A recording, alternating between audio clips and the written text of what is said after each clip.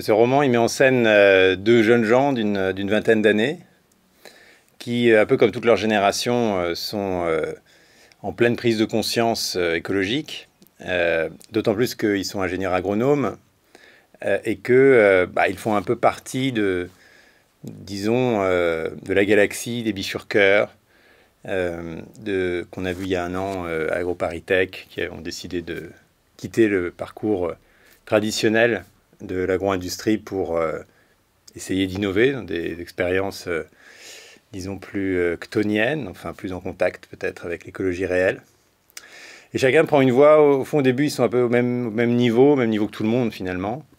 Et puis ils vont prendre deux voies très différentes qui peu à peu vont se séparer, vont les séparer, et puis peut-être vont-ils se rejoindre à un moment donné euh, L'un vers, euh, disons, le capitalisme vert, les startups, les investissements, et l'autre euh, vers une néo-ruralité de plus en plus radicale et de plus en plus politisée. Leur point d'entrée commun, c'est la question des lombriques et des vers de terre. Je pense que chacun a un point d'entrée dans la question écologique. Ça peut être la disparition des oiseaux, la disparition des ours blancs, la question des fonds marins.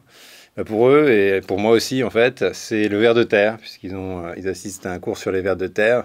Euh, ils s'aperçoivent d'abord que c'est un animal extrêmement précieux, dont Darwin avait fait son dernier livre, euh, Le laboureur de la terre, et que bah, ces lombriques sont en voie de, disparition sous le coup des insecticides et du labour profond. Et donc chacun à sa manière va s'interroger sur la manière d'essayer de résoudre cette question. Euh, et ce que j'ai essayé de mettre en scène, c'est pas du tout un message, mais au contraire, c'est toute la complexité euh, de notre société aujourd'hui par rapport euh, à ce défi assez largement partagé. Je ne pense pas que l'un ou l'autre choisisse la bonne voie.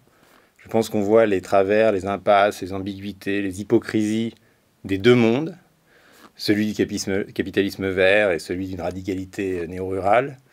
je ne pense pas qu'il y ait de solution dans ce livre mais j'ai essayé qu'il soit aussi réaliste que possible, à la fois sur le plan euh, économique, euh, légal, euh, agronomique évidemment, pour donner au lecteur un peu tous les, tous les fils ensuite à lui de, les tricoter comme il le souhaite. Moi j'ai commencé en écrivant des romans il y a une vingtaine d'années, c'est vrai qu'ensuite j'ai fait beaucoup de récits et d'essais. Bon, pour moi tout ça c'est de l'écriture.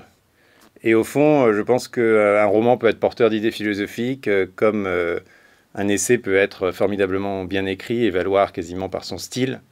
Donc je ne fais pas une différence brutale entre les deux. Néanmoins, le roman, il oblige à être moins dogmatique, pas dogmatique du tout, parce qu'on suit des personnages.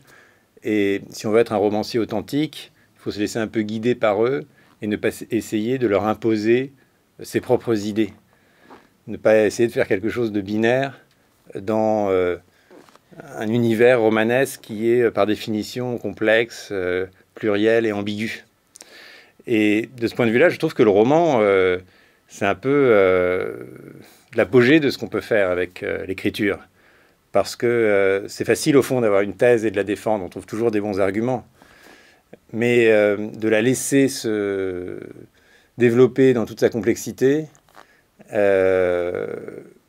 de revenir sur ses pas, euh, de donner la parole à des personnages avec qui on n'est pas d'accord, bah, au fond, c'est plus exigeant, je trouve.